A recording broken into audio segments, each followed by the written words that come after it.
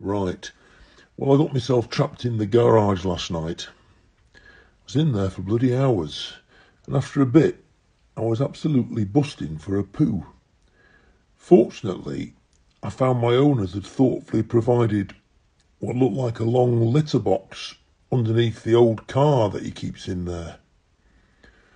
So, uh, had a bit of oil in it, I noticed, but I managed to find a spot to avail myself of the facilities, as it were. Anyway, next morning, he came down, opened the garage door.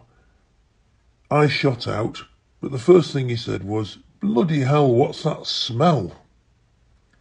Anyway, he's now peering under the car with a handkerchief clamped onto his nose. Bit disappointed he wasn't more pleased to see me, but you know me, I'm not one to complain.